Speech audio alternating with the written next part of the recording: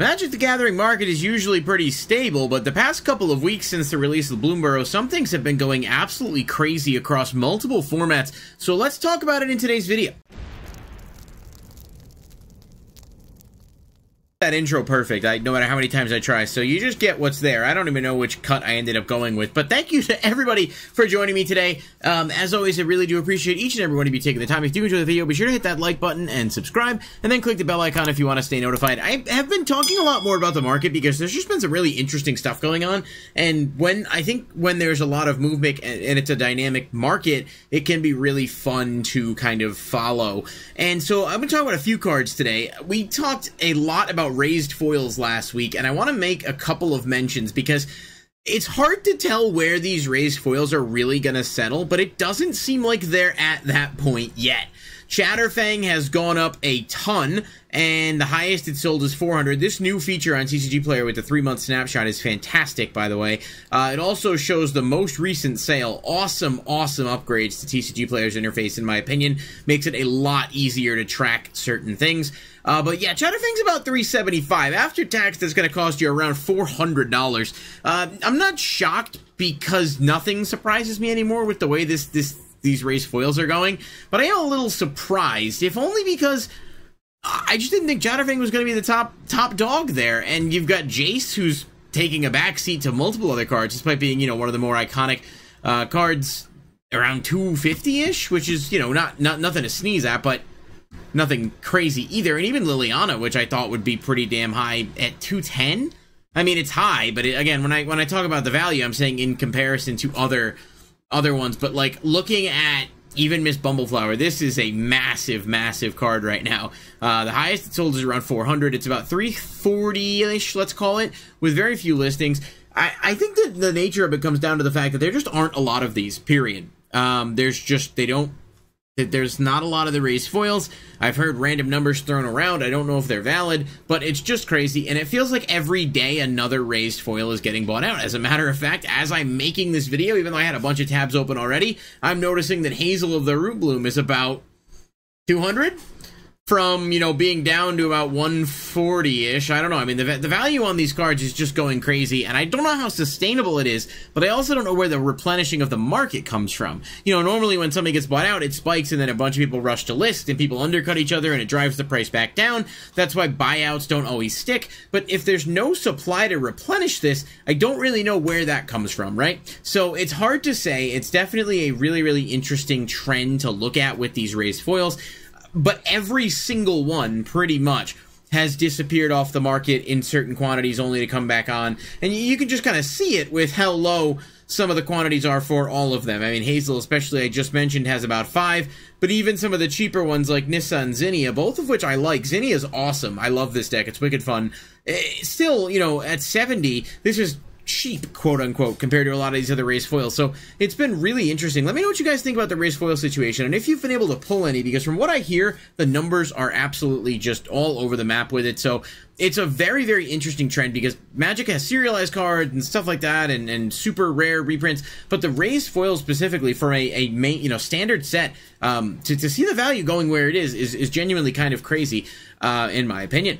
Nesting Dovehawk is seeing a ton of hype. A commander card out of March of the Machine commander decks, and the interesting part about this card is that it's it's clearly because of you know decks like I'm playing it in Zinnia, but anything that you know you make like Offspring tokens and stuff, being able to duplicate copies of things that already exist. I mean, this card's gone from like six dollars to like 25 30 so massive, massive jumps in price uh, for the extended art version, and then same for the regular version here about 27 it was 8 and now it's 27 it's up about 300% um, a very good card it's just only in the commander deck so i don't know where else you know you can't get it anywhere else um, and so it's it's really good in a lot of those token strategies and that's massive right now with all pretty much of the decks that came out for um, for Bloomburrow. Moving to standard to talk about a couple things. Scavenger's Talent. I know this isn't just a standard card. I know it's very good in Squirrels and Commander, um, but specifically with uh, it's part of an infinite in standard with Ygra and uh, Experimental Confectioner. This card was about eighty cents. Uh, la- like not even. I mean, realistically, like a few days ago. Last week, I made a video talking about the market. It wasn't anywhere near that high. Um, and now it is at the cheapest, $9, and the most recent sold was $4.20. So it is good to keep that in mind, of course, that the most, you know, people are eh, just because they're listed at nine doesn't mean there's not you know that many available, but they're just disappearing off the market. And Bloomburrow as a set has just been aging extremely well in a short period of time. Uh, with, with, a lot of demand for a lot of cards, and it's just kind of interesting. But this is the most recent one, and this happened, as far as I can tell, today. So food for thought on that guy. Uh, Scavenger, uh, Scavenger's talent's not the only one though. Caretaker's talent up a lot as well. It quite, it actually peaked uh, the other day and then fell back a little, but around nine dollars at the cheapest. They were selling it uh, at one point um, around almost 12-ish, I think. I mean, you can kind of see the graph for yourself, but it had bottomed out to a dollar and now it's back up. Just another really good card for token strategies, and there's so many token decks and combos in Bloomburrow right now that have just invigorated a lot of other formats it's a really, really good card. It's there's not much else to say. If you're somebody who bought heavy into Bloomburrow, you're probably happy to see some of these rares doing well because at least it's adding some value back to uh, what started out as a very low value set. But it's you know also the playability of the cards. Just wanted to kind of note the specifics here with, with caretaker's talent this is uh, has gone up a lot of the talent cards have so maybe take a look at some of the other talent cards that are lower um, you know honestly while we're a little bit of live a little bit of live editing on this but uh, let's see i'll just take a quick peek here um, I mean, Fortune Teller's talent's at about six seventy five. It was down to like a dollar, so another one that's up pretty significantly. Um, a lot of these sagas just continue to do well. Uh, there, there really isn't, you know, I, I don't know what the logic is behind it necessarily, outside of the fact that they're good cards and people want to go after them. And when they look at cards and say, "Look how cheap these are," and then you end up buying them out, it's just sort of the nature of the game. Fabled Passage I talked about last week as a card that might be worth grabbing. It was around 2 and change. It is now about 4 at the cheapest. It's just a really good card, specifically for standard being a pseudo fetch. Obviously, later in the game, it is essentially a fetch. Um, you, can't search dual lands with it, but you get the gist. Um, just another good card that's being probably played at 4 in a lot of decks, so getting access to multiple copies is driving sales. It's not crazy high or anything, and there are obviously a lot of versions of this card, even the, the previous ones, uh, but I do think it's worth noting. Uh, Pollywog Prodigy just continues to go up, uh, about 22-ish. It had bottomed out at one point to about 13, and it is now very well back up with 30 listings, $21.45. The extended art version is actually cheaper for what that's worth. Um, just a quick note again, this is not standard legal, but it is an extremely good card. Uh, basically, the you know it, it's it's like Esper Sentinel on steroids if you're able to get its power up to even a remotely respectable amount, and it having evolved definitely does make it easier to do that. So uh, yeah, if this is a card that's interested in you for different commander decks, I would get it. I, I don't know. You had chances to get it low, and it, it it's, it's gone down twice and then back up. So I don't know. It's hard to say, but keep an eye on it. Maybe find a price that feels pretty good for you. Um, Undercity Sewers is just rising completely. Like it's up fifty percent in the on the month. I think these dual lands are decent, especially because they're type lands that can be searched in standard. But it's just interesting because they do come in tapped. Um, but yeah, I mean, this is like a twenty dollar card. It just interesting, really. I just kind of wanted to make note of him. Uh, another big card out of Bloomburrow is Patchwork Banner. You can see that graph. It is going wild. And this card is around $4 for the non-foil and about apparently 6 and change for the foil. Um, just really good. It this is a the standard format is very aggro heavy. You buff stuff up, and it's also a mana rock that costs the same as you know Command Sphere, a lot of those other ones. So for Kindred decks, you can use this in a lot of different ways if you have this in bulk, I would definitely sort through and pick it out because it's a really, really good card that is in demand. Monstrous Rage isn't necessarily a new bump, but I will say this was a dollar and change back in July and is now about, well, four dollars and twenty cents after a couple listings that are there. Um, very very annoying to play against in mono red and standard. It just is a fast card that can buff things up very quickly with cards like uh, Heartflame Hero. If you have this is definitely a card that I had some of in bulk and I pulled them out and I ended up selling them. I sold them to at a, at a discount, but I did end up selling them um, just to move them around like three a piece. So pretty good value obviously um, out of that card. And Wilds of Eldraine weirdly has some uncommons, including this next one we're going to talk about briefly. Experimental Confectioner. Check that graph out. This card was like you know dollar, and then it was three, and now it's like ten, and it's settled out a little. But there really isn't a huge um, amount for it. And this of course goes infinite with Ygra, where you can sacrifice a food, create a rat, sacrifice.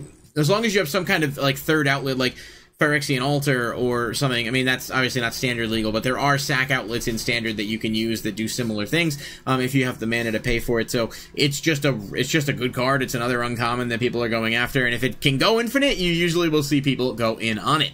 Lord Skitter just continues to go up in price as well, around four to five dollars. We'll call it four fifty. Uh, again, mostly for standard reasons, but it's a very annoying card to play against, and it can do a lot just a note again this card was super cheap for the longest time but it's been seeing some play for a bit i think it's better now um, after rotation Consign to Memory for modern horizons 3 is interestingly enough like a I don't even know where we would put the value out on this guy. Around nine ish on the foil, probably about two fifty, three dollars on the non foil. Overall, uh, it's a really good card. I don't know of too many that cost that low that can actually counter a triggered ability, and I think that's what makes it really strong. Um, obviously, countering a color spell is neat too, but uh, it, it, does work well for its intended purpose. And a few other stragglers I just wanted to mention quickly. Shuko is down hard as people continue to anticipate a ban for Nadu. I, I gotta imagine that's to happen at some point, but I mean, there's so many copies of this card now. Back when it was like 30, and now it's like six you know, or maybe maybe closer to like, well, I don't know. I guess near mint copies are, in fairness, are closer to like 12, 13. But I would not. I would be selling your Shukos really, um, if it were me, because I, I just think Nadu's going to get banned inevitably, and this card goes back to being kind of irrelevant unless something else comes out that can abuse it, I suppose, in the way that Nadu can. And Scurry Oak has honestly been going up for a while, but he's up more um, out of Modern Horizons 2 just with the Squirrel deck. Very good. Didn't get a reprint in that deck, and it's the only printing that this card has as an uncommon here. So around, I don't know, $3, and I think I think the foil's actually yeah, the foil's like five or six after factoring in shipping. Um, not a not a bad uh, card overall. Obviously, very very good um, for creating tokens. And again, another card that can go infinite with certain things when you create tokens. I think this and Rosie Cotton actually can go infinite. So kind of a, a noteworthy thing I just thought was worth throwing out that's going to do it for this video. Let me know what you guys think of the movement on the market. I am working on some other videos coming up for pre-con upgrades, and, and, and, hopefully we get some conversational pieces to talk about in the coming weeks, but I did want to get this out because it's just been a wild time if you're somebody who enjoys kind of watching the market and just sort of observing. And obviously, if you're someone who uh, happened to get in on some of these at a low rate, you're definitely looking uh, back at it with some pretty uh, positive outlooks, I would imagine. I'll catch you guys in the next video. Peace.